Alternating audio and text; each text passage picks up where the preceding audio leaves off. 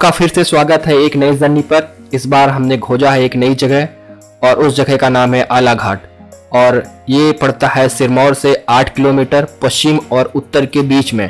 तो आइए चलते हैं, देखते हैं।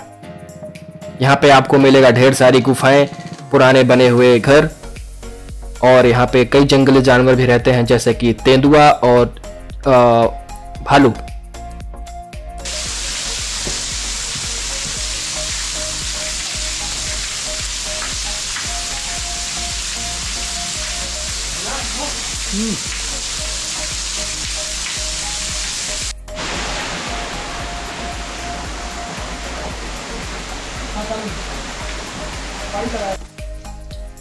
मीनार में है कुछ नहीं कुछ नहीं हुई है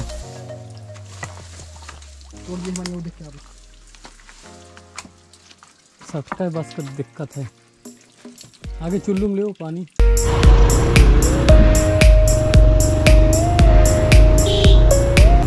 जैसा कि आप लोग जानते हैं, मुझे नई जगहों पर घूमना बहुत पसंद है। इस बार हमने खोज निकाली है एक नई जगह।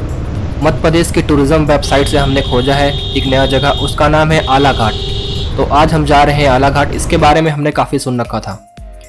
ये पड़ता है सिरमौर से पश्चिम और उत्तर की तरफ़, बीच में पड़ता है और सिरमौर से लगभग ये होगा आठ किलोमीटर। तो आइए चलते हैं, देखते हैं आला घाट कैसा बना हुआ है। यहाँ पे कहते हैं कि हिम तेंदुआ यानी जो तेंदुआ पाए जाते हैं और भालू भी पाए जाते हैं। यहाँ पे एक बड़ी सी गुफा भी है। बरसात में उस गुफा के अंदर झरना बहता रहता है और पास में कुछ पुरानी बनी हुई धरोहर इमारतें हैं। तो आइए देखते हैं इसको डिटेल के साथ और जानते हैं यहाँ पे जो गार्ड रहते हैं उनसे हम पूछेंगे और इसके बारे में आपको अच्छे से बताएँगे। तो देर किस बात की? आइए चलते हैं। हाँ हाँ हमसे मंदिर मंदिर कुछ टाइम नहीं चला इधर पूरा तत्व का बोर्ड लगा है। हाँ बोर्ड लगा है वहाँ एक पक्का बना मकान है। हाँ हाँ। और पक्का के नीचे लिखा है। अच्छा अच्छा। तने है गुफा। चलो ठीक क्या है वहाँ अंदर की है हाँ अंदर अंदर है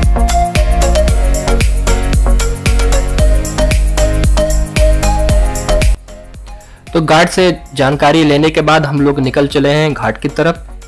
आपको जहाँ पे पार्किंग है या गार्ड रूम कह सकते हैं वहाँ से लगभग इसकी दूरी एक किलोमीटर से ज़्यादा है। तो इसलिए आप अगर पैदल जाना चाहते हैं तो जा सकते हैं, लेकिन थोड़ा जंगली जानवरों का खतरा बना रहता है। तो हम लोगों ने टू व्हीलर से ही जाना सोचा और वहाँ जाके पहुँच गए। आगे हम आपको दिखाएँगे और भी डिटेल और भी जानकारी।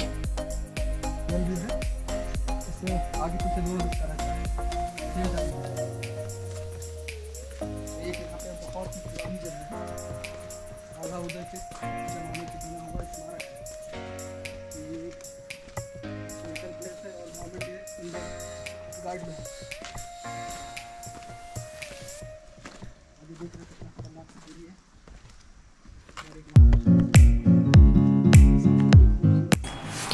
जैसा कि इस पठार क्षेत्र को बिहड़ बोलते हैं और बीहड़ के नाम से बहुत ही पॉपुलर है। तो आप देख रहे होंगे एक बहुत ही खूबसूरत सी घाटी दिख रही है, जिसकी ऊंचाई लगभग 50 से 60 मीटर होगी। और यहाँ से आपको चारों तरफ़ बेहतरीन हरा नज़ारा दिख रहा है।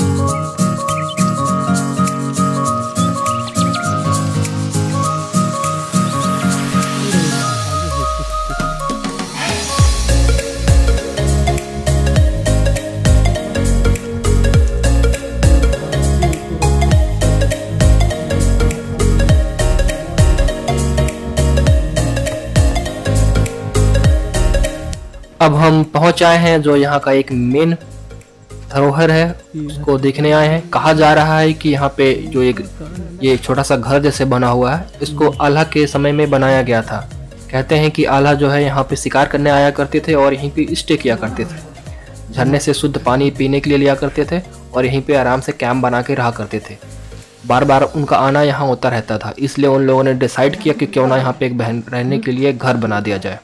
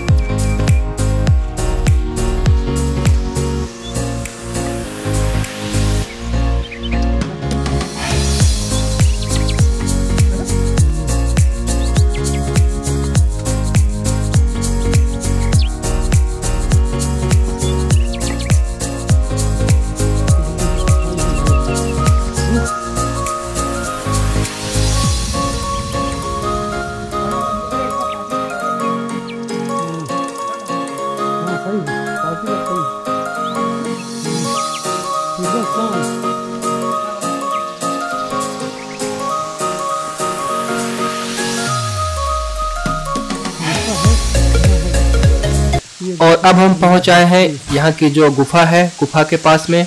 जैसा कि मैंने बताया था, अगर आप बरसात में आएँगे तो आपको गुफा के अंदर से झरना बहता हुआ दिखाई देगा। ये गुफा जो है काफ़ी बड़ी है, लगभग कह सकते हैं 50 से 60 मीटर लंबाई होगी अंदर ही अंदर। पत्थर के नीचे ये लाइमस्टोन से ऑटोमेटिक पहाड़ों के टूटने की वजह से गुफा बन गई है।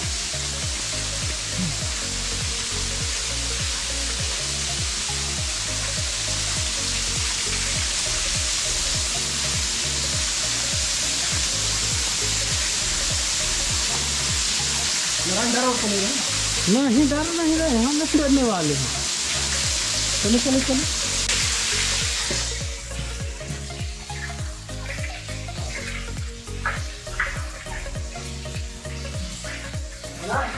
हम्म।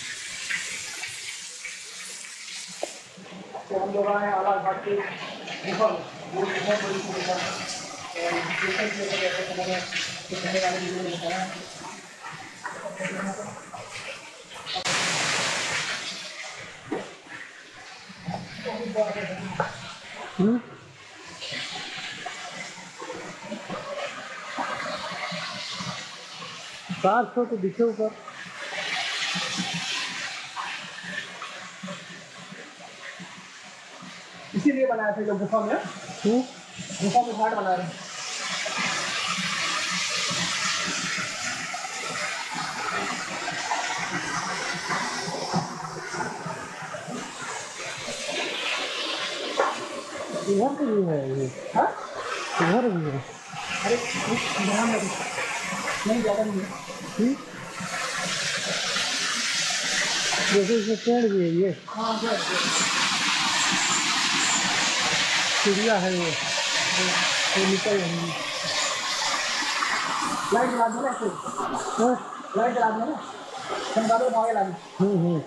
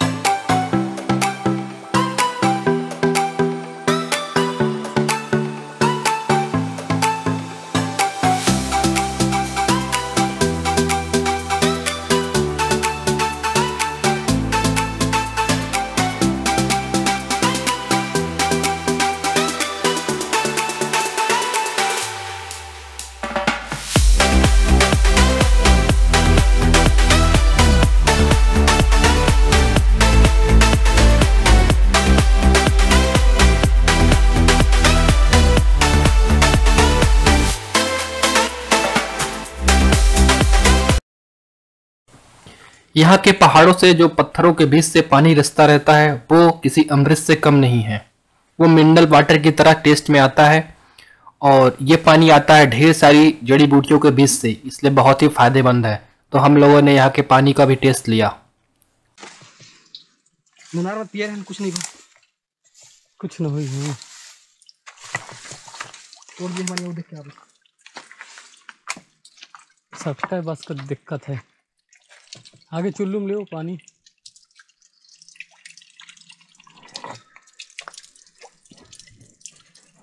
चला रहा है। अच्छा। आदमी का आदमी हाथ लगे नीचे